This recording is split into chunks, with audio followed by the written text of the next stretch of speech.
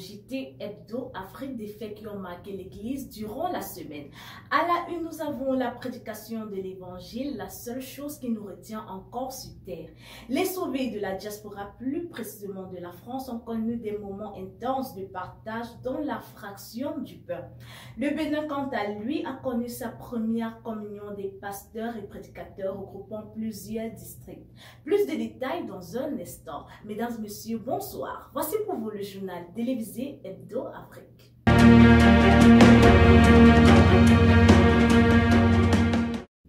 Allez partout dans le monde et faites de toutes les nations mes disciples. Cette parole s'est encore accomplie cette semaine. Gracia Mélignon pour ce reportage. L'Église du seul vrai Dieu ne cède pas aux distractions. Elle reste focalisée sur son ordre de mission tel que prescrit par son Maître, le Seigneur Jésus-Christ. Tout est mis en place pour le salut des âmes. Les sacrifices énormes sont faits par les sauvés pour que le ciel soit peuplé au jour de la venue du grand Maître. Grâce énorme pour l'Église qui, malgré les assauts des détracteurs en vue de la déstabiliser, reste debout comme un seul homme, gardant à l'esprit l'objectif ultime, le salut des âmes. Depuis l'Afrique et au-delà des frontières, Moïse et les prophètes est prêché, tel que le démontrent ces images. Welcome to this praising session. The Lord has done so much for me that I have so many things to tell Him.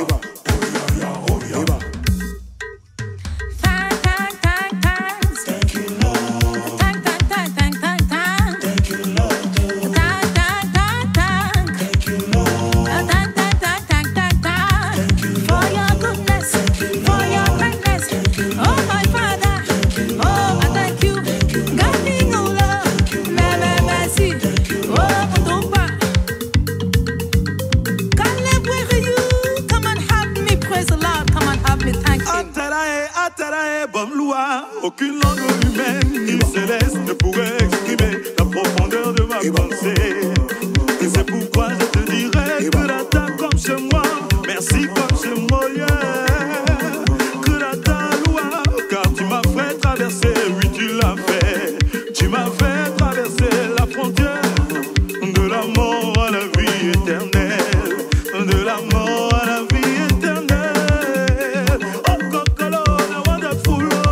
If you know yourself to me, let us yeah, yeah, yeah, yeah. Eh, c'est pas possible que je viens dire merci avec moi. Aïe, aïe, voilà pour merci à Dieu, pour merci au papa le roi des rois des rois. Il a donné mon frère, il a donné ma soeur, pour le même salut, le sang versé, on va dire merci. Merci papa, merci papa, merci papa, merci papa, merci papa, salut merci papa, merci papa, merci papa, merci papa.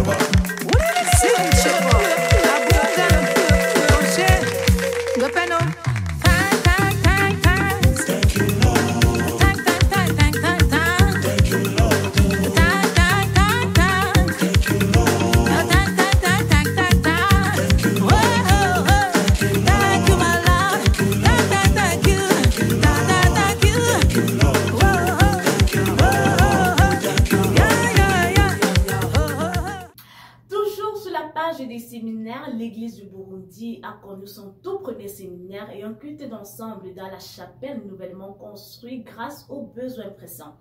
Tu n'es pas heureux de voir à quoi sert ta contribution, la communication du Burundi pour ce briefing.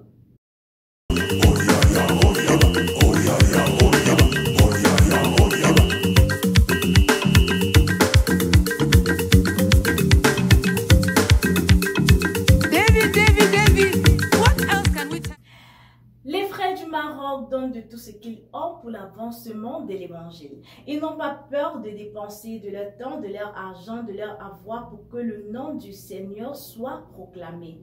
Quelle grâce immense, frères et sœurs dans le Seigneur, notre correspondant Marion pour vous. Bien le bonjour à toute l'Église d'Afrique et de la diaspora. Avec vous, le frère Mario depuis le Maroc. la grâce et le privilège m'est accordé de vous présenter en quelques images les différentes activités du Maroc. Sans plus tarder, on y va. Nous avons chaque début du mois un culte d'ensemble où les frères et sœurs de différentes villes effectuent le déplacement en direction du QG 6 à Rabat-Salé, où nous recevons des enseignements, des paroles d'exhortation, d'encouragement et bien sûr, nous profitons de cette occasion pour prendre les nouvelles les uns des autres. Et c'est pas fini. Pour le programme en semaine, nous avons chaque mercredi la réunion des hommes qui se tient en ligne à partir de 21h30 où un frère choisi la semaine d'avant vient avec un passage de la Bible où tous ensemble nous échangeons selon la compréhension et la grâce que le Seigneur a accordée à chacun. Ainsi en est-il des femmes qui tiennent leur réunion tous les vendredis à partir de 21h, accompagnées à la fin de celle-ci d'un prédicateur pour plus d'explications sur le passage qui aura été choisi pour la réunion. Nous avons également organisé, par la grâce de notre Seigneur, un séminaire national où nous avons invité pas mal de personnes, mais malheureusement, une seule a répondu présente à notre invitation. Nous avons rendu gloire à Dieu. Je profite de l'occasion pour demander à l'Église d'Afrique et de la diaspora de prier pour le Maroc et pour le monde arabe en général afin que le Seigneur ouvre les portes pour l'entrée de l'Évangile dans ces différents pays afin que les autochtones même soient sauvés si telle est la volonté de notre Père. Gloire à Dieu et merci encore. Au Bénin, les pasteurs et prédicateurs ont tenu les tout premiers ACNPP regroupant plusieurs districts du pays. La communication du Bénin pour vous. Après ces jours-là, dit le Seigneur, je mettrai mes lois dans leur cœur et je les écrirai dans leur esprit. Il ajoute, et je ne me souviendrai plus de leurs péchés ni de leur iniquité. Oh, oh. Là y a pardon des péchés, un peu d'offrande pour le péché. Une fois pour toutes, le péché a été enlevé. Là y a pardon des péchés, un peu d'offrande pour le péché. Une fois pour toutes, le péché a été enlevé.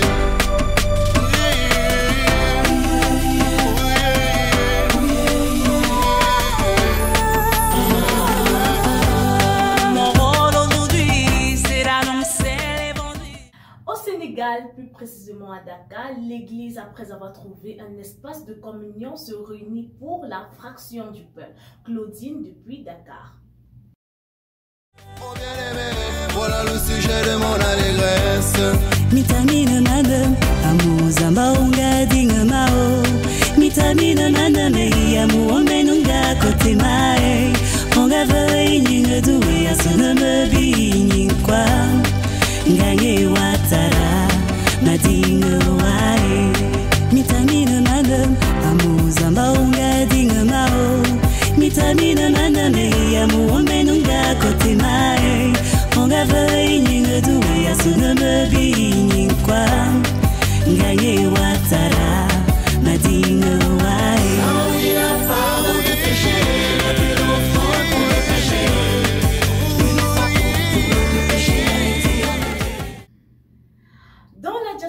les frères de l'Église de la France se sont retrouvés à Saint-Denis pour la tenue de leur culte d'ensemble le 14 mai. Phil Chesnell depuis Saint-Denis pour ce reportage. Désirez comme des enfants nouveau-nés le lait spirituel et pur, afin que par lui vous croissiez pour le salut. 1 Pierre chapitre 2 en son verset 2. C'est sur cette recommandation de notre Seigneur Jésus-Christ que les sauvés, les saints de la diaspora, se sont réunis pour leur énième culte d'ensemble ce samedi 14 mai du côté de la France à Saint-Denis. C'était l'opportunité de pouvoir partager une thématique commune qui est Nous sommes sur le fondement des apôtres. Cette thématique qui a permis l'édification d'une quinzaine de personnes, des anciens et des nouveaux sauvés, afin de pouvoir les tenir informés de la réalité des Écritures en matière de l'unicité du salut et de la marche commune. C'était l'opportunité pour les anciens sauvés de pouvoir être fortifiés dans cette lourde marche et pour les nouveaux sauvés de pouvoir les avertir comme un bon maître avec sagesse pourrait avertir ses fidèles élèves par rapport à ce désert ardent qu'est la marche afin de pouvoir faire face à toute éventualité. C'est donc une occasion, une fois de plus, a permis aux sauvés de la diaspora de pouvoir sortir du zone. Et nous nous disons, pour le prochain rendez-vous, le mois prochain. C'était Phil Chesnel de la communication de la diaspora depuis Paris. Au Cameroun, dans le district du Fondi, précisément, les communicants se sont engagés dans une série de formations en reportage et en montage. C'est un exemple à suivre pour chaque district au Cameroun et ailleurs, d'après la responsable de la communication, Esther Assiene. Voilà ce à quoi ça ressemble. Arrondissement de Yaoundé 4e, district ecclésiastique du Fundi. Entre le lieu dit Ekounou Marché et le Carousel Club, tout près du Sao Paulo Snack Bar. C'est là que se situe l'Assemblée des Kounou. Elle compte à présent une soixantaine de membres qui constituent à leur tour les différents groupes d'action que sont le groupe des hommes, le groupe des femmes, le groupe des jeunes, mais aussi les tout petits qui constituent l'école du dimanche. L'Assemblée des Kounou est encadrée par le pasteur Thomas Dakin Nebede, affecté à ce poste il y a quelque temps. Eric Ndjomo, le second dans cette responsabilité. Comme toutes les assemblées du district, l'Assemblée des Kounou vit grâce à ces différents groupes d'action qui l'animent au quotidien. Avec à leur tête des porte-paroles activés sans relâche à leur tâche. Malgré quelques difficultés observées dans cette assemblée de temps en temps, elle résiste grâce à Dieu qui l'a voulu ainsi. Voici en quelques mots et en images ce qui est de l'Assemblée des Kounou. Ati Jordan Nangaïda pour. Dieu n'est pas le Dieu des morts. Le dimanche 8 mai 2022, l'Assemblée de Manguier, dans la ville de Yaoundé, discute d'une fundi de la Cameroun La Voix de Mission, a abrité un séminaire d'assemblée. Il y avait 66 présents dans la salle, dont 10 invités. Le pasteur Noël Raymond a débuté le séminaire sur les quelques premières sessions de manière combinée. À sa suite, le frère Ndje Yannick a amené les convives dans la cinquième et la sixième session. Au finish, il y a eu cinq témoignages, dont deux témoignages de salut, et nous avons rendu grâce à Dieu. Merci Seigneur pour ta grâce, pour ton immense amour, pour la liberté que tu nous accordes. Alléluia. Alléluia. Bonjour ou bonsoir l'église. Le dimanche 8 mai 2022, les sauvés de l'Assemblée de Nkwaban se sont réunis pour un culte des saints qui s'est très bien déroulé par la grâce de Dieu. Et nous étions si joyeux d'avoir écouté le témoignage du frère Aubin et celui de la sœur Providence. La tête est très sévère parce qu'il disait que la partie où c'est dans Romain épargne. Et si Dieu n'a pas épargné, oui. Bon, et toi donc alors, remplace, remplace, voilà, voilà, il n'épargne que merde. Et approuvé. Avant je croyais que j'adorais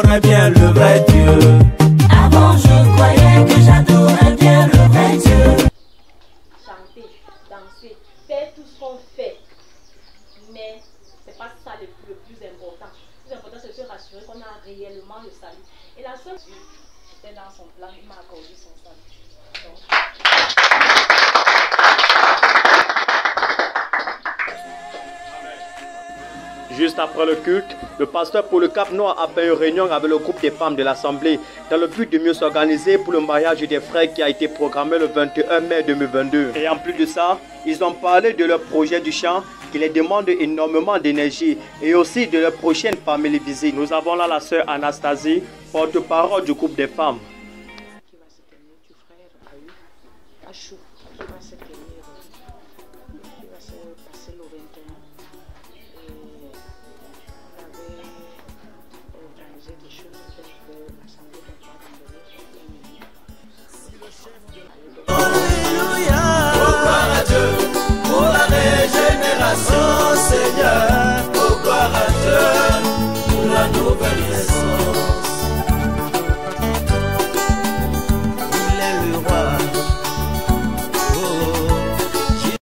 C'est ici la fin de ce journal réalisé par le frère Jono Arcet de l'Assemblée de Nkwaban, encore appelé SH le Royaume de Dieu. Merci de nous avoir écoutés. À présent, ouvrons une page sur l'entrepreneuriat. Le Togo a organisé une autre formation en entreprise sur le thème Créer et gérer son entreprise. La communication du Togo pour vous.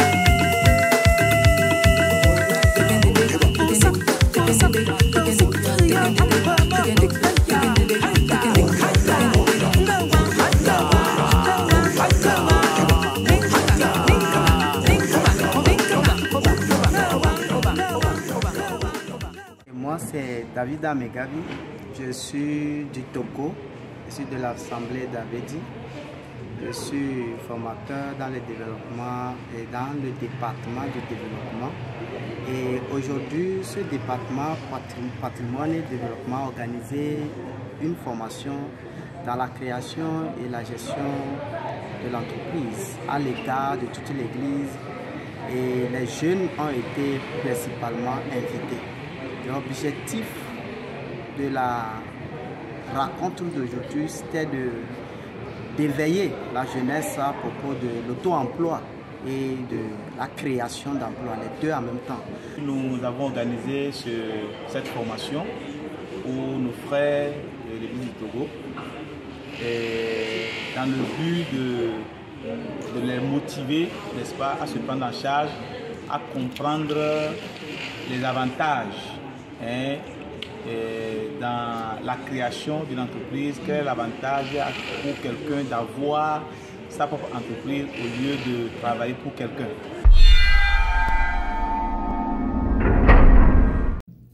Annonce. La Convention internationale allant du 22 au 21 juillet est et demeure d'actualité. Les apports et les dons des uns et des autres sont attendus. La semaine prochaine, nous ferons un tour dans plusieurs pays anglophones, ayant pour point focaux le pasteur Jean Motimbo et Étienne Golo pour savoir comment se porte l'Église. La Côte d'Ivoire organise le 21 mai un séminaire spécial sur le thème La femme selon Dieu. Est fait sur la prière. Il est nécessaire et incontournable pour l'Église de passer plus de temps dans la prière. Prions les uns pour les autres. Nous sommes parvenus à la fin de ce journal. Ça a été un plaisir. Vous pouvez retrouver cette édition sur notre page Facebook Africa Life World Mission, Instagram Africa Life World Mission et sur YouTube Adassa Production. Votre fidélité nous honore et à lundi prochain.